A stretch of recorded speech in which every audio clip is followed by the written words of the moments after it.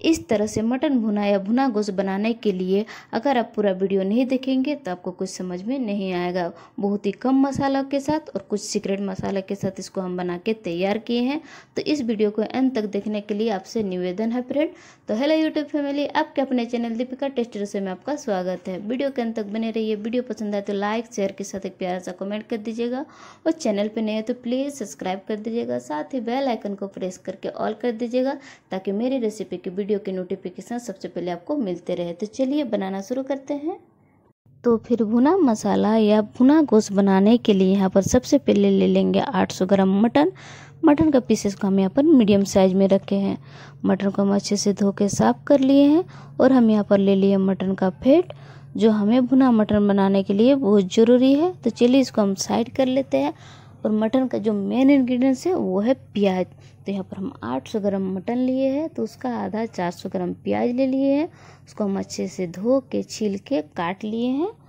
अब हम थोड़ा सा प्याज को हाथ से क्रेश कर देंगे। ऐसे करने से भुना मटन बनाने में प्याज हमारा जल्दी सॉफ्ट हो जाता है और खाने में भी टेस्टी लगता है।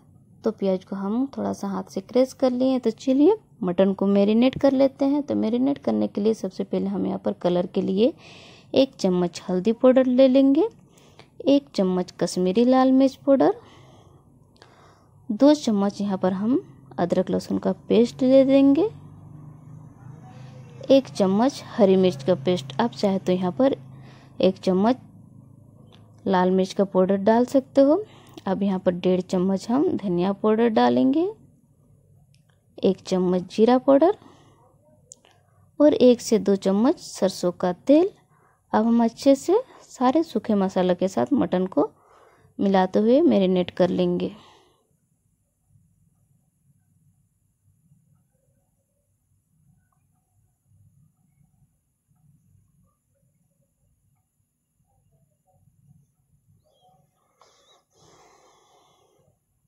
तो अच्छे से हम मटन को मैरिनेट कर लिए। अब दस मिनट के लिए इसको हम रेस्ट पे रखते हैं। तो चलिए, कुछ सीक्रेट मसाला हम यहाँ पर बना लेते हैं। तो गैस ऑन करके हम यहाँ पर कढ़ाई चढ़ा लिए हैं। कढ़ाई हमारा हल्का गर्म हो चुका है। अब यहाँ पर एक से डेढ़ इंच के करीब हम यहाँ पर दालचीनी का टुकड़ा दे देंगे। दो बड़ी इलायची, चार लौंग, तीन छोटी इलायची, एक चम्मच धनिया एक चम्मच काली मिर्च और यहाँ पर आधा चम्मच नमक डाल देंगे। नमक डालने से खड़ा मसाला का खुशबू बहुत ही अच्छा आता है और रोस्ट करने के बाद इसका जो पाउडर बनाएँगे तो पाउडर बहुत फाइन बनता है। तो लगभग इसको हम एक से डेढ़ मिनट अच्छे से मीडियम फ्लेम में रोस्ट कर लेंगे। तो हम अच्छे से एक मिनट के लिए रोस्ट कर लिए हैं। सूखा मसाला से बहुत ही सुंदर एक खुशबू आ चुका है। अब इसको एक प्लेट में हम निकाल के ठंडा कर लेंगे और इसका पाउडर बना लेंगे।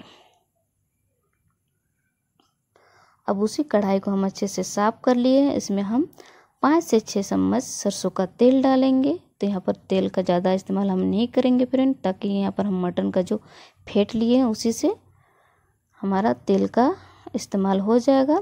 जैसे ही तेल गर्म हो जाए, यहाँ पर हम प्याज को डाल देंगे। और प्याज जल्दी सॉफ्ट हो जाए, इसके लिए आधा चम्मच नमक डाल देंगे। और इसको मीडियम टू फ्लेम में हम तब तक भूनेंगे जब तक प्याज अच्छे से सॉफ्ट ना हो जाए और इसका कलर चेंज ना हो जाए।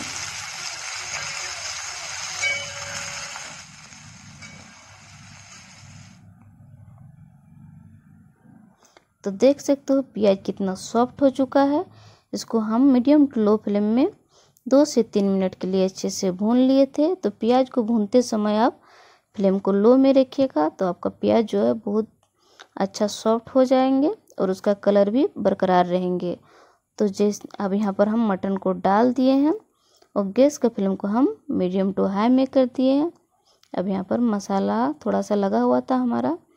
बॉल में यहाँ पर थोड़ा सा पानी डाल दिए हैं। अब इसको हम पाँच से छः मिनट अच्छे से भून लेंगे।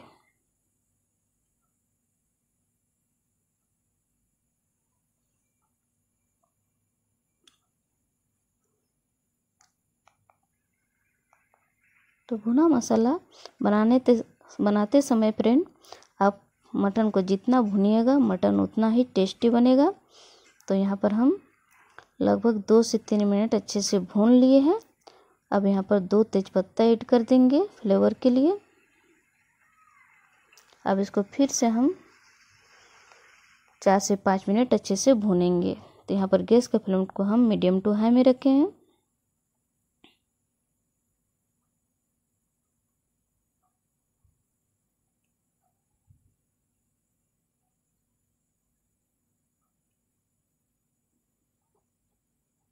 तो लगभग हम मटन को छः मिनट अच्छे से भून लिए हैं।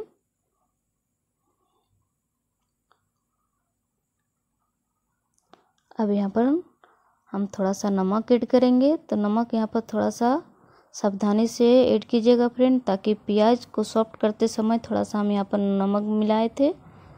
तो देख सकते हो, मटन का जो फेट है धीरे धीरे सॉफ्ट हो रहा है। इसको जितना भुनिएगा, मटन का फेट जो है धीरे धीरे पिघल के, तेल के रूप में आ जाएँगे।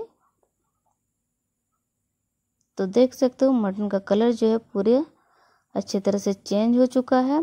और पूरे हमारा जो फेट है अच्छे से गल चुका है। अब यहाँ पर पाँच मिनट के लिए हम मीडियम टू लो फ्लेम में ढक दिए थे।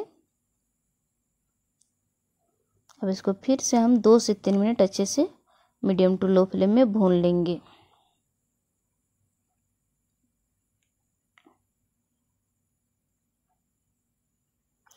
तो लगभग पाँच मिनट हम अच्छे से भून लिए। अब यहाँ पर जो हम सूखा मसाला को रोस्ट किए थे, उसका पाउडर बना लिए थे, उसको हम डाल देंगे और यहाँ पर थोड़ा सा हम एक इंच के करीब जायफल ले लिए। उसको हम एक ग्रेटर से थोड़ा सा घिस के डाल देंगे। तो मटन जो है, इसमें डालने से बहुत सॉफ्ट भी हो जाता है और इसका खुशबू भी बहुत ही अच्छे से आता है। तो थोड़ा सा हम इसको ग्रेट करके डाल देंगे।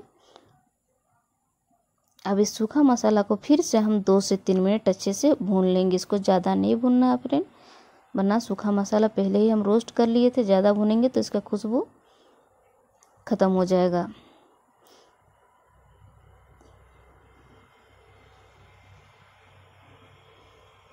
तो लगभग हम दो मिनट अच्छे से इसको भून लिए हैं। अब यहाँ पर गर्म पानी हम ऐड करेंगे। तो भुना मसाला में आप गर्म पानी ऐड कीजिएगा फ्रेंड। ठंडा पानी का इस्तेमाल यहाँ पर करने से हमारा जो मटन है जल्दी सॉफ्ट नहीं होता है। तो लगभग हम एक बड़ा कप में दो कप पानी डालेंगे और इसको हम ढक के मीडियम टू लो फ्लेम में तीस से पैंतीस मिनट के लिए इसी तरह छोड़ देंगे। आप चाहे तो आपके पास टाइम नहीं हो तो कुकर में इसको मीडियम फ्लेम में तीन सीटी लगा सकते हो, लेकिन कढ़ाई में इसको पकाने से इसका टेस्ट अच्छा आता है। तो लगभग चालीस मिनट इसको हम ढक के लो टू मीडियम फ्लेम में छोड़ दिए थे फ्रेंड। तो देख लीजिए इसका कलर कितना परफेक्ट आया है। मटन जो है पूरी तरह से सॉफ्ट हो चुका है। इसका ग्रेवी परफेक्ट आया। देख सकते हो, इसमें हम ज़्यादा तेल का इस्तेमाल नहीं किए थे। फेट के वजह से हुआ है। तो चलिए इसको हम हल्का ठंडा करके सर्व कर लेते हैं। तो ये लीजिए फ्रेंड गर्मा गर्म भुना मटन बन के हो चुका है तैयार। तो देख सकते हो उसका कलर कितना परफेक्ट आया है। इसका ग्रेवी देखिए, कितना सुंदर, कितना थिक बना है। तो इस तरह आप बना के रोटी, चपाती या नन के साथ इंजॉय कर सकते हो। तो ये वीडियो आप लोग को पसंद आया है। तो प्लीज़ एक लाइक कर दीजिएगा। वीडियो को एंड तक देखने के लिए थैंक यू फ्रेंड फ़िलहाल के लिए बाय बाय मिलते हैं नेक्स्ट वीडियो में।